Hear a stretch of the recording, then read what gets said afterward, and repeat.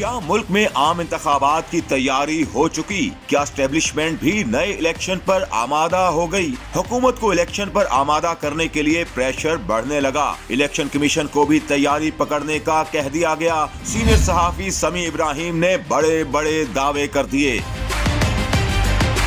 अपने वीलॉग में समी इब्राहिम ने दावा किया कि हुकूमत को इलेक्शन पर लाने की कोशिश की जा रही है। इस हवाले से दबाव बढ़ता जा रहा है। जो ताकतवर हल्के पीडीएम के साथ खड़े थे, अब उन्हें एहसास हो चुका है कि मौजूदा सेटअप मुल्क को बहरानों से नहीं निकाल सकता।